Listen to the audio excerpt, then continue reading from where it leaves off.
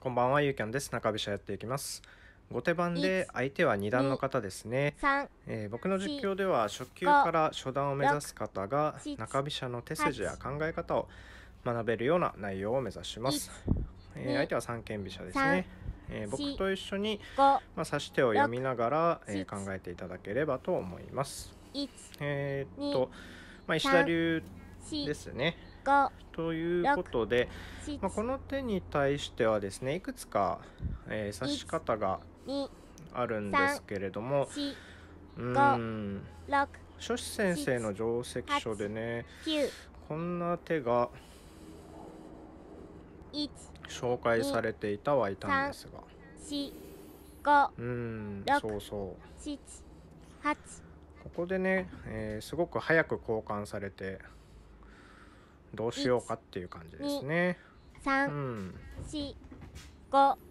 六、さあ七、早い交換を九、うん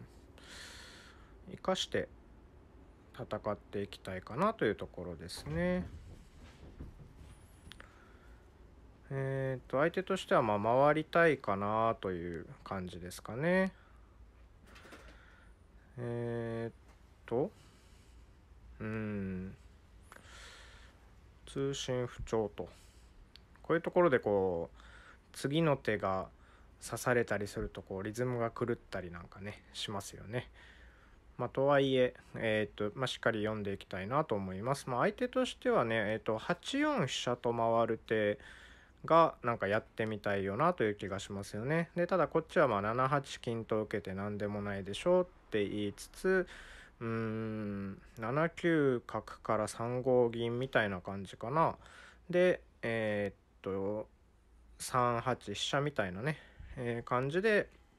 まあ、回っていく順を見てみあのやってみたいかなと思うんですけれどもちょっとねあの諸子先生の定石書でこの辺りは解説がされていないところでちょっと僕も手探りでした。はい、えーということで、まあ、残念ながら今日は以上ですね、えーこの動画が良かったらチャンネル登録、いいねボタンお願いします。最後まで見てくれてありがとうございました。次の動画でお会いしましょう。さようなら。